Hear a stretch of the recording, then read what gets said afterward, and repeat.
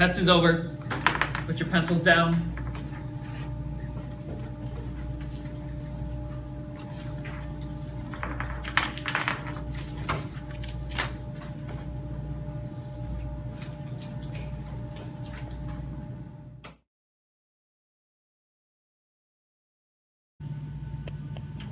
Yeah, you failed miserably. In fact, you did so bad, you actually managed to get a zero on the test.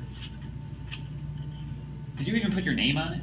You didn't even put your name on it. Of course I did. There were so there were so many hard questions. Did you answer all the questions? Uh, No, I didn't answer all the questions. They were so hard. There was one about a potato. Literally, the only thing I told you to do without fail was to answer all the questions.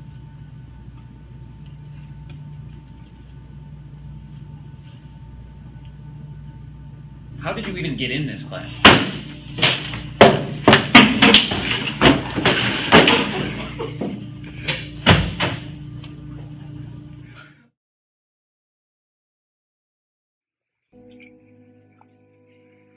Dude, What's up, bro?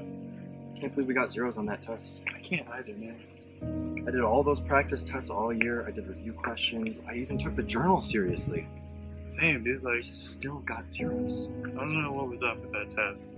Maybe I'll do better in bio, but Hopefully, I just I got a zero. dude. I wish we had some way to get our grades up. That would be so nice right now. Be lit. If only somebody were to come out with a magic opportunity for us. We hit the freaking lottery, dude. Like, The lottery. I don't know, bro. Like, if we But could can, do does that, that even have the college board is so strict with your grades? Can I you even do that? I don't know. Like, I just wish we like we could find another way to bump those grades up or ace that test. It's really just so so sad. So body, bro. Did you see that?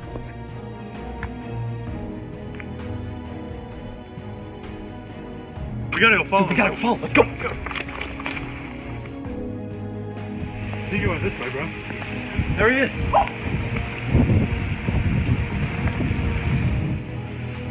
What's got you two down today? Bro, stranger Dude, danger. Mike, Mike, Mike. It's okay. It's okay. Just go with it, okay? Who are you, man?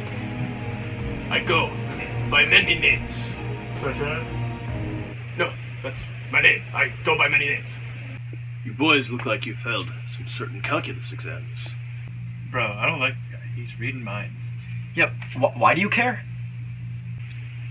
What if I told you there was a way to change those scores of yours? How could you even do that, man? The college board is so strict with their scores. If you get a five, you get a five. You get a zero, it's over. And guess what? We got zeros. College boards, best kept arsenal destroying disciples' grades since their very creation. It has the power to bring magnificent peace throughout the universe, but also the destroyer of worlds. So.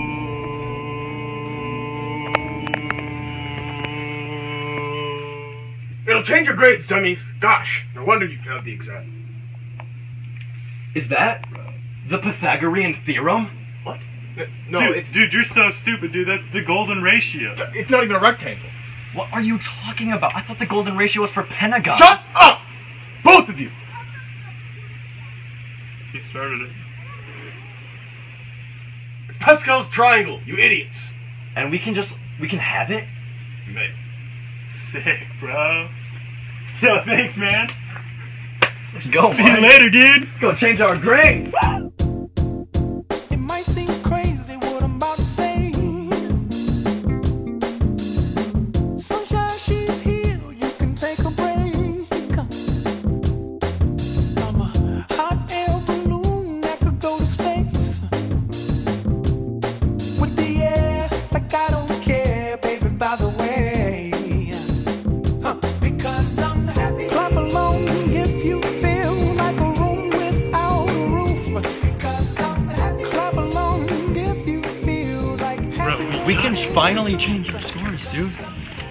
My god! Mike! What? As I suspected, somebody's been adding soil to my garden. The plot thickens.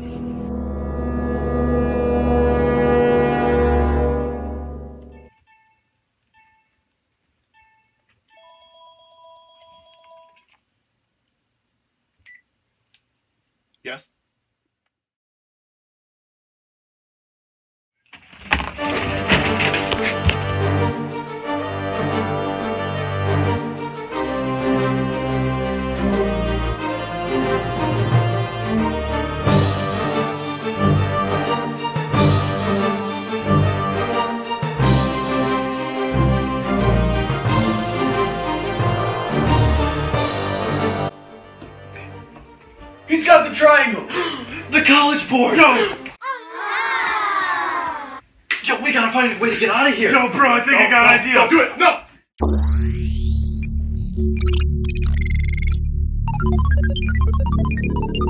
Mike, where are we, dude?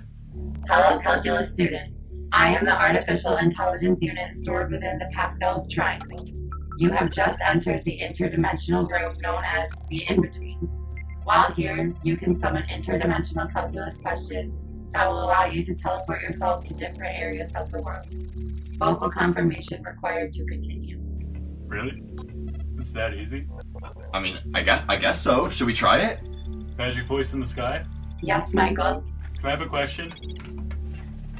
Simulating interdimensional calc question 1.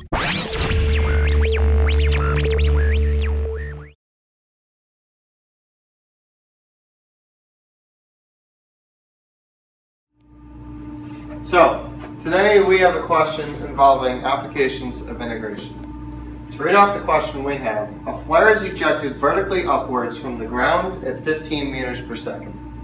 Find the height of the flare after 2.5 seconds, given the acceleration due to gravity is negative 9.8 meters per second squared. Do you know what we do first? That's right, we write down our known variables. So, first one we have velocity at t equals zero is 15 meters per second.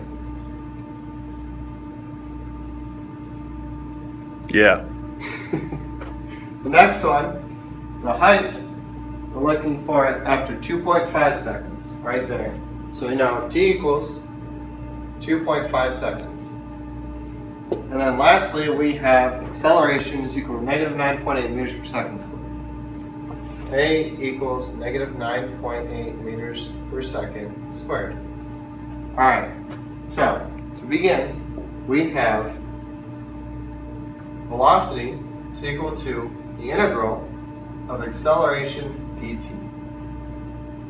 So, substitute in what we know, v equals the integral of negative 9.8 meters per second squared dt.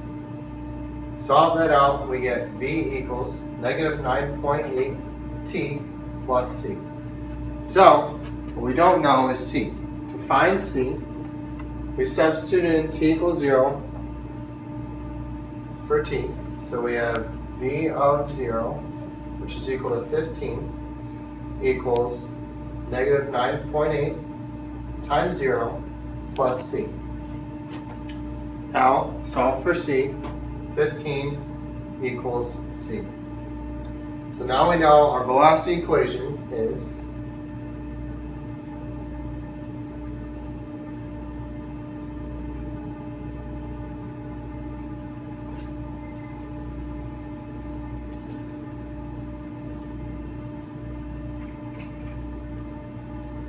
equal to negative 9.8 t plus 15. Alright, welcome back to the second part of the applications of integration question. Here we have our velocity equation, and we need to get that to our position equation. So first things first, we write down s, our variable for position, is equal to the integral of v dt. So First thing we do is we need to substitute in negative 9.8 t plus 15 for v. So s equals the integral of negative 9.8 t plus 15 all multiplied by dt. So then from here we just need to integrate our velocity equation. s equals negative 4.9 t squared plus 15t plus z. There we are. So, we know that the flare was ejected vertically upwards from the ground. So from there we know that S of 0 equals 0. So substituting t for 0 here, we know 0 equals negative 4.9 times 0 squared plus 15 times 0 plus c. So after all that very difficult, very challenging math, we get 0 equals z. And our final position equation equals negative 4.9t squared plus 15t.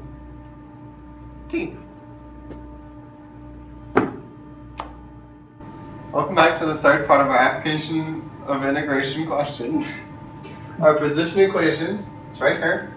Now, all we need to do is we need to take the time given, plug that into our position formula, and we have a position.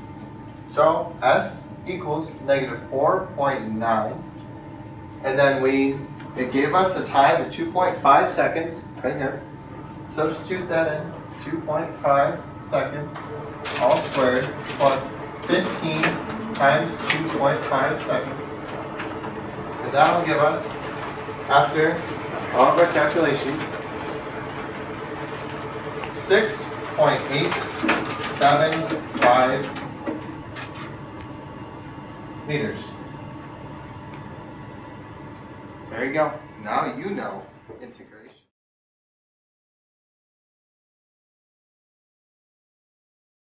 Now back to your regularly scheduled program.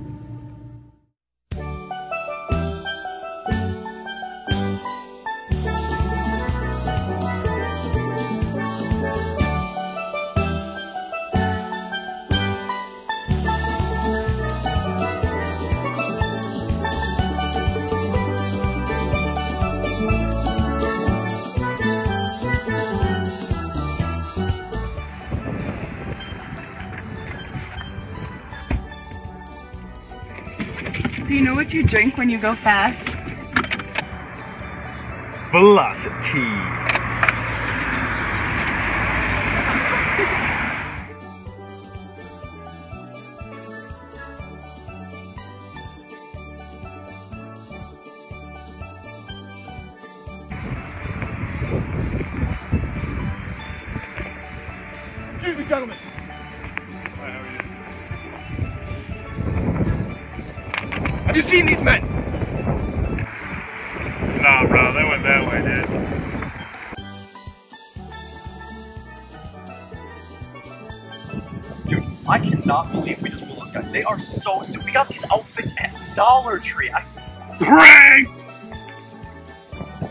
Aw. Oh crap! Go!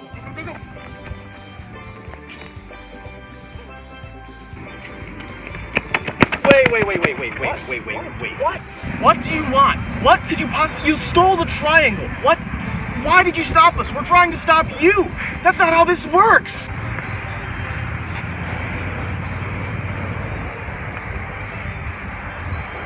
This really isn't working out. It's not. It's not you guys. It's us. But so we've been thinking We should just race it out. Yes.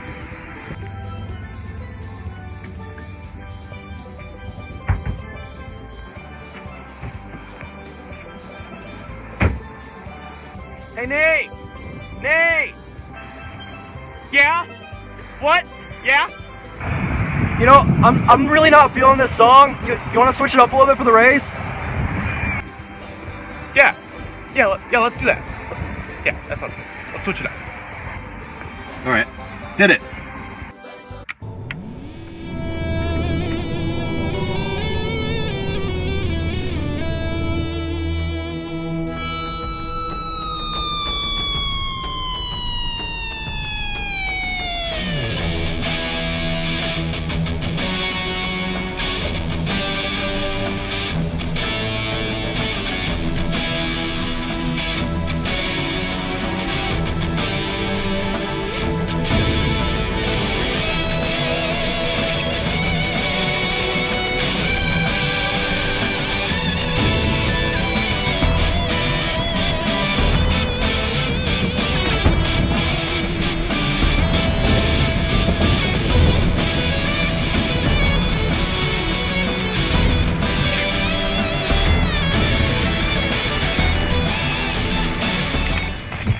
They're. We gotta get out of here. I know, bro.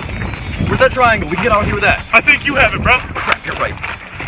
Here it is. You ready? Three, two, one. Ah!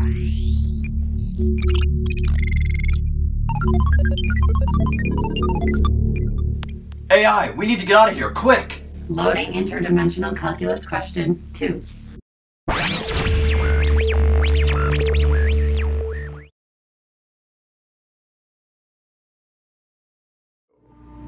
Welcome back, class. Um, our next question is going to be on related rates. I'm going to read this out to you. The kinetic energy of an object is equal to k equals 1 half mv squared. If the object is accelerating at a rate of 9.8 meters per second squared, how fast is the kinetic energy increasing when the velocity is 30 meters per second? So we start, same way we started last question, we write up our numbers. Acceleration is equal to 9.8 meters per second squared, and then velocity is equal to 30 meters per second. So, first things first, we write down our equation that we're going to be using. K equals 1 half mv squared.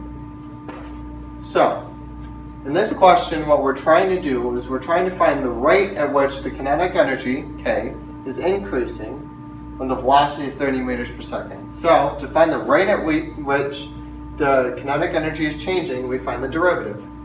dk over dt equals vv prime. So, this looks fairly simple. The issue here is we do not have v prime. So, we look back at our givens, and we notice that acceleration is actually equal to v prime. So we come back to here, now we know v prime and v. So it's pretty simple plug and chug. Dk over dt equals v 30 meters per second.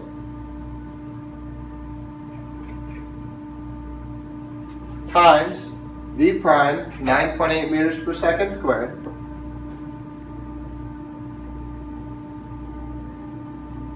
Multiply these together and our answer comes out to be 294 meters squared over seconds cubed.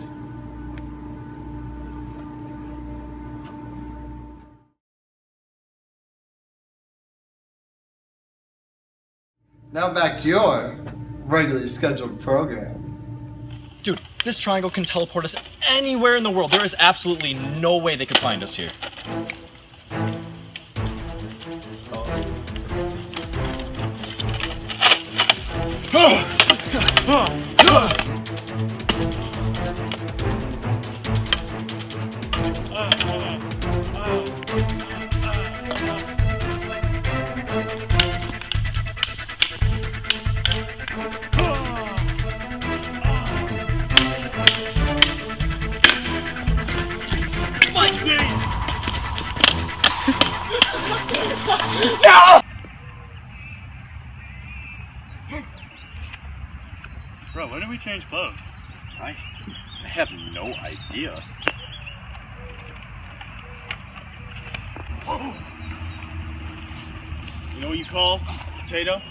Internal temperature of 91 degrees Celsius that turns to the dark side?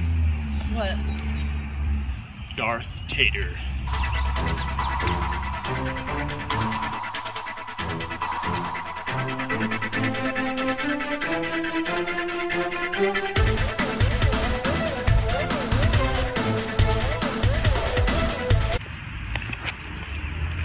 Where did she go?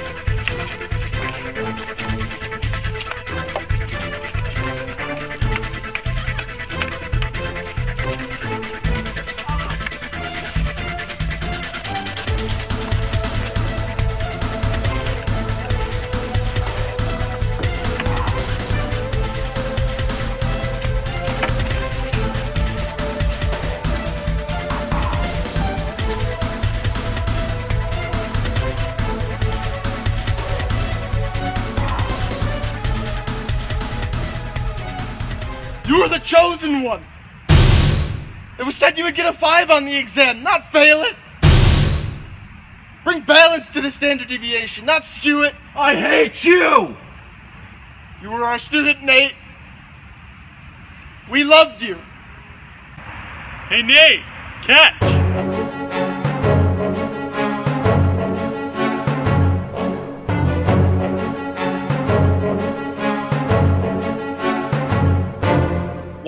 I cannot believe we got this freeze frame. It takes some seriously good editing to get this freeze frame. Yeah, we didn't really have the budget for that, so you might want to look down.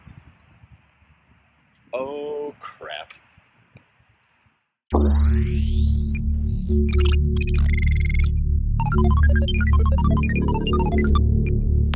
AI, Yes, Nate? can you can you get us out of here? It's uh it's kind of urgent. I have good news. I have generated enough interdimensional power to teleport us directly into the headquarters of the College Board. That's great news. Not only can I get you there, I can get you there back in time so you can change your grades without alarming the College Board. Awesome, let's go. Loading interdimensional calculus question three.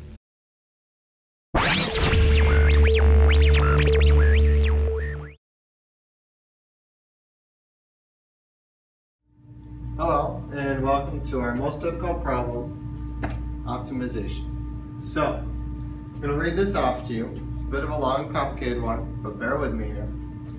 You are standing at the edge of a slow-moving river, which is one, one mile wide, and wish to return to your campground at the opposite side of the river.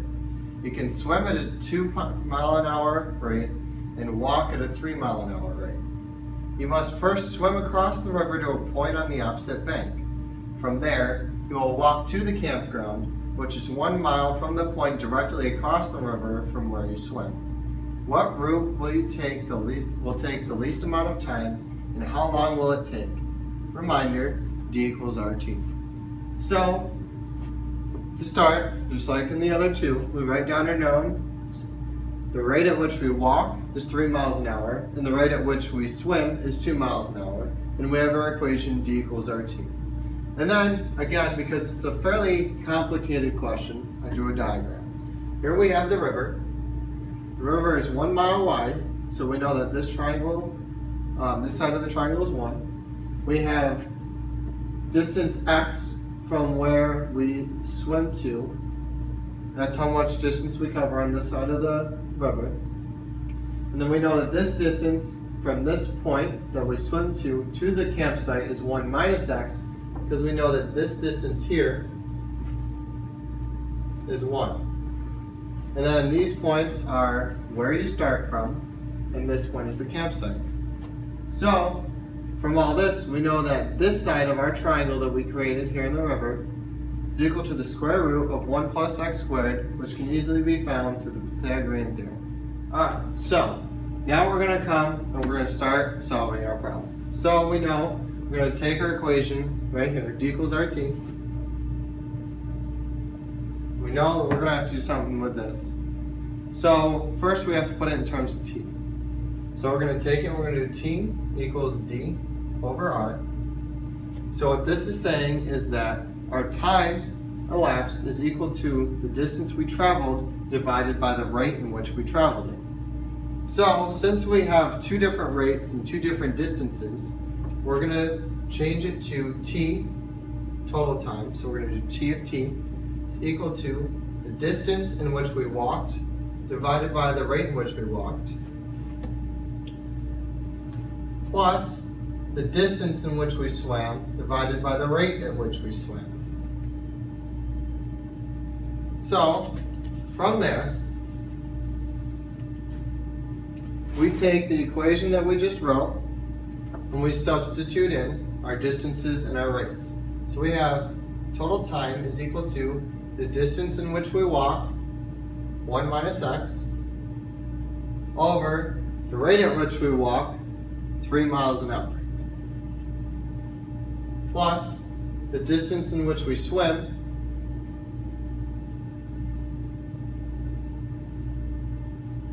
divided by the rate at which we swim, 2.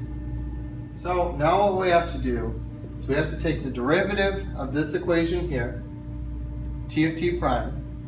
And using that, we will find when x is the least. So we know t of t prime, differentiate it, that's equal to 1 half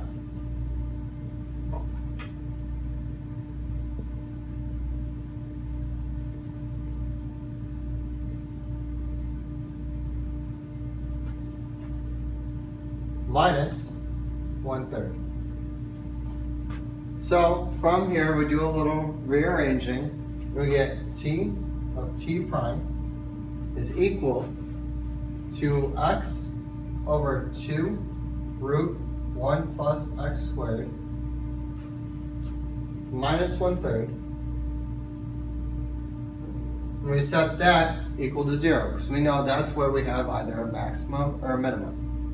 So, now that we have this equation, we set it equal to zero, we put it into our calculator.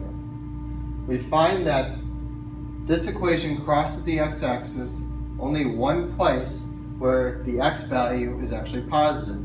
You know that when the x value is negative, that couldn't be true because you can't travel negative distance. So, we know that the x value that would cause the time to be the least is that x equals 0.8944 miles. So, from here, we know that we're going to swim a distance of 1.342 miles from plugging this x value into this and then we know that we're going to walk a distance of 1 minus 0.8944 miles, which is 0.106 miles. But we're not answering the question. We still have to find out how long it will take to travel this distance. So we have our x value, and we have the total time. So to find the total time, we just plug in our x value. So our original total time value is total time equation is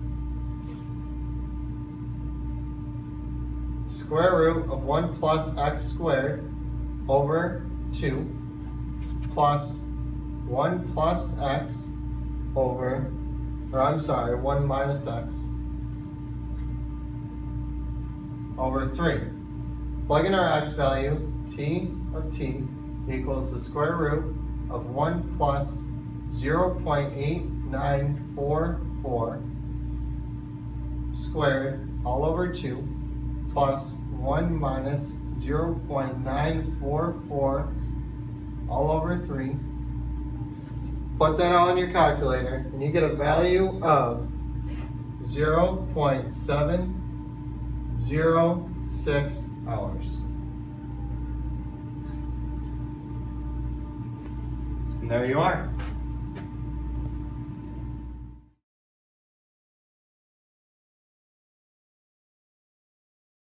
Now back to your regularly scheduled program.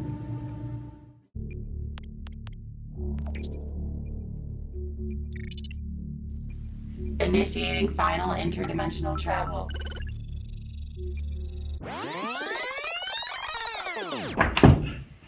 Wow, we made it! Bro, I found the college board. Mike, you're an idiot. That's a clipboard. You're right. Bro, the college board. Mike, you got to Mike, you gotta stop. That's a chalkboard. Oh, man. This is the college board. Ah. Dude, now we just gotta go find those scores so we can change them. Dude, they must be kept in some like super secret location where Probably. no normal person can get to them. Hi guys, I'm Dora the Explorer. And this is Boots. Can you find the scores? No, those aren't the scores. Keep looking. Those aren't the scores either. Can you find the scores? Yay, you found that! the score! Oh my god!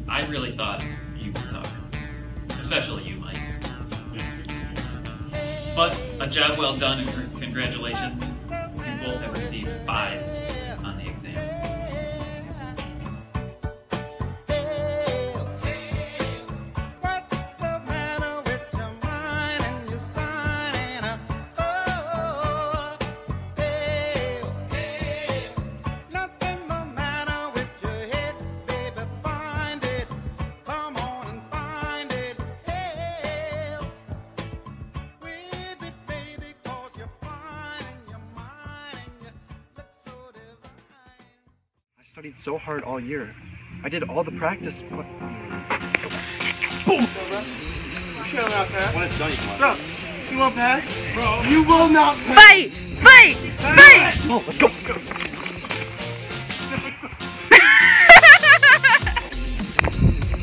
Hi, Mom. Stranger danger, bro. He has to say a line first. You. What's got you two down today? Stranger Dude, danger, bro. okay, it's okay, it's okay. It's okay. Oh my God. And then you go, shut up, both of you. Okay. So serious. And then, then Mike goes, he started it. and then we'll cut. Okay? So all you have to do. You guys.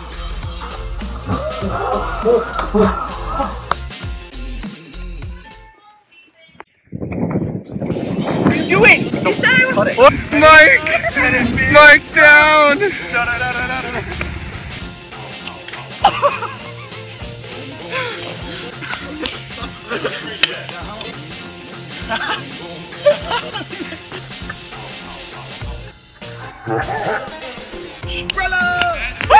Banania! I don't know the words to this song! Yeah, yeah! Ooh.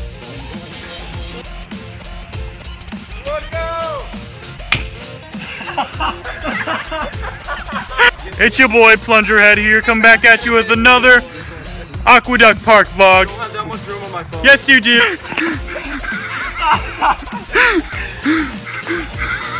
I still jump! One and one. Oh no, the plunger! Get off! One, two, it's stuck! Ready? One on two. On done two. One, two, three, two. Alright, he has to do it. Alright, record it. It was said you would get a five on the exam, not fail it! Bring balance to the standard deviation, not skew it! You can't hang. I know, it's so scary though. No, Mike's gonna break his ankle. At least let him finish filming first. Nate, catch! We're not using this. Um, hi, my name is Michael, welcome to.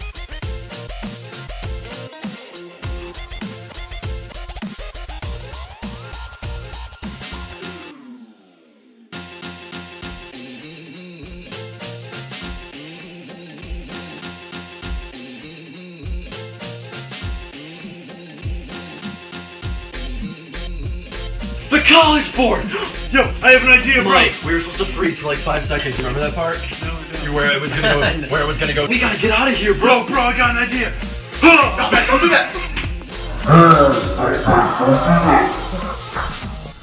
So S equals. Now how do we find position? Go. Welcome back.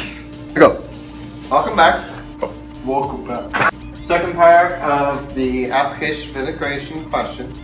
Stop it. Stop it right now. What are you doing? He's so funny. Look. Mike, you gotta look around. You have just entered the interdimensional room known as the in-between. While here, you can summon. AI, Yes, Nate. can you get us out of here? It's uh, it's kind of, it's kind of urgent. Oh my god.